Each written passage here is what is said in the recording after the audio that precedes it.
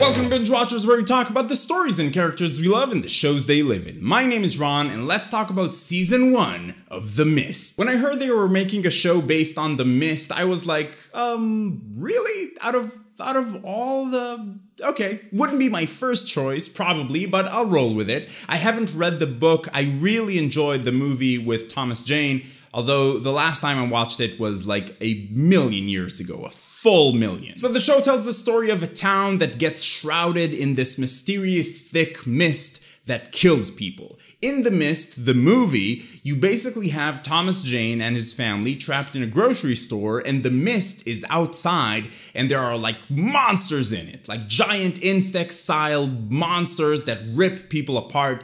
And inside the grocery store, people start panicking, they form groups, they turn on each other, details about their past come to light, and so on. The show is a bit of a different take on the same premise. The mist is still super dangerous, and people who get caught in it for too long die, but not necessarily by insect monster. The mist also plays with people's minds. I'm not going to say too much about it to avoid spoilers. Also, the story takes place across the whole town. When the mist rolls in, after people quickly realize that if you stay out, it kills you, they form groups at different locations, the people in the church, the people in the mall, the police station, and not Thomas Jane and his family get separated, and they try to find the way back to each other. So like any story about a disaster or a bigger thing that's happening, there are two paths to take. One, tell the story about the disaster, about every about whatever terrible thing is happening, and two, tell a more personal story about the people this terrible thing is happening to. Option 2 is usually more interesting, which is probably why we see more of it.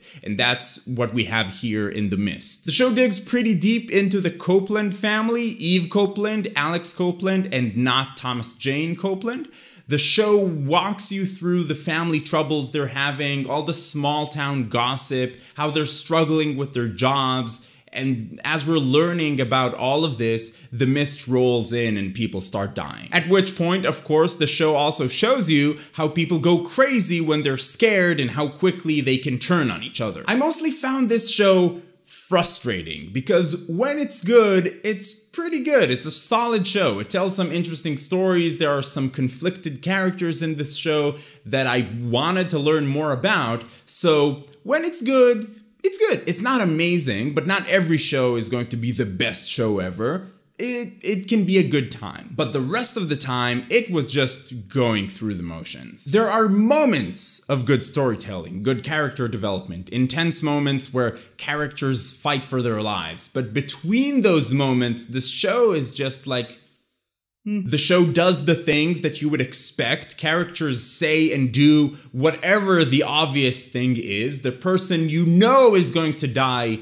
obviously dies. You think they're going to use the fact that the mist can mess with your mind in a cool way, and they almost do, but they don't really. Not really. There's a hint to the origin of the mist which is exactly what you would think it would be. Then something cool happens, or a character has some interesting internal struggle, and it feels like the show is about to take things to a deeper level, and then no, it just goes back to the most standard dialogue and story progression imaginable. If everything in this show was on this flat, mediocre line, I probably would have just said that it was okay, like it's fine, you should probably skip it and that's it. I probably would have watched it and then not even do a review about it.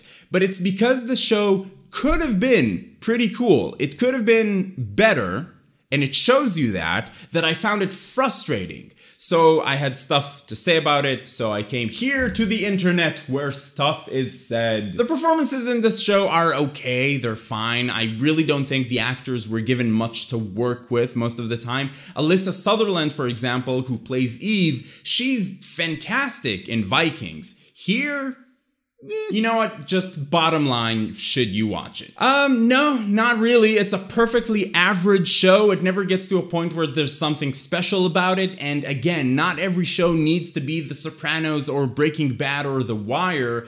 There are so many things that can make a show fun or interesting or, you know, just generally worth watching. Okay, and I also just read that it was canceled, so no season two, so it's not worth the investment of your time. I now officially regret having watched this show. So, what about you? Probably you didn't watch this show, but if you did, what were your thoughts about it? And what other obscure book or movie would you like to see made into a crappy like guilty pleasure TV show. If you're going to be talking about spoilers, that's fine. No one should really go watch this show now that it's been canceled. Use spoiler tags out of decency, but yeah. If you like this video, please give it a thumbs up. It really helps out a lot. And you can find me on Twitter and Instagram and TV Time. You can also join our Discord server where we chat about TV. It's a lot of fun. And I have to talk really fast before my battery runs out. And if you're finding binge watchers for the first time,